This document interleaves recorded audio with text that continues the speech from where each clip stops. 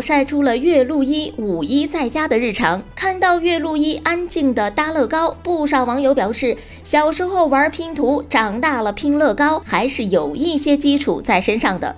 就是千万别让雷佳音知道，要不然不知道雷佳音会送一个什么样的乐高给岳麓一，那简直就像噩梦一样。在雷佳音拜师的那个晚上。得知小月月的女儿喜欢拼图时，就立刻买了一个拼图送了过去，长达五米、三万三千多块拼图，历史上只有三人拼成功了。以以这个为证，你就是小月徒弟。好，没问题，明天我就送个礼物。过两天来了，三万六千块的拼完了，能跟这个墙差不多。哇！历史上有两三个人成功了。历史上收到礼物的岳路一一脸的生无可恋，而小月月也不甘示弱，发文请教网友是要找回面子。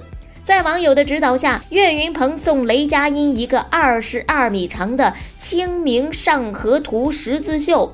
雷佳音的母亲想尝试，却被雷佳音给制止了。你的十字绣绣了吗？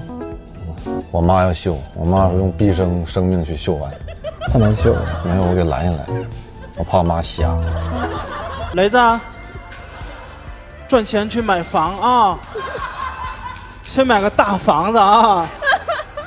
这这个，我天哪，你得你得买一个二十二米的那个房间啊。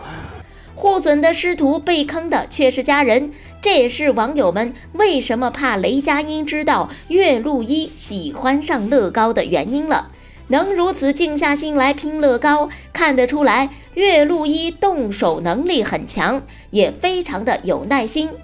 岳云鹏在采访时就曾说过，大女儿非常的成熟。我们老大现在已经十二岁，他相对比较成成熟一些。嗯嗯，他不想就是出门告要给给我丢人。相比于大女儿的成熟，二女儿却非常的喜欢撒娇。在小月月教育二女儿，让她练习大提琴的时候，岳路月则用撒娇来对付小月月。虽然戏比较过，但是小月月还是非常吃这一套的。老二很聪明，他会撒娇。现在练那个大提琴，他就是不练。他就是不练，我就生气嘛，假装生气嘛。我一生气，他就会撒娇。爸爸，你知道吗？你出门我有多想你，你知道吗？爸爸就就过来，就过来。他那个表演完全负分，但是你怎么办？你过了。呃，对。你还认，你知道吗？我太认了，我太认了。小月月完全被二女儿拿捏了，妥妥的女儿奴。虽然因为工作经常出差在外，但也时常的会抽出时间陪伴孩子。虽然不能辅导孩子作业，但也会经常的帮助孩子完成课外作业，跟孩子一起玩。不得不说，小月月真是一个好父亲，也是一个好老公，同时也还是一个好徒弟。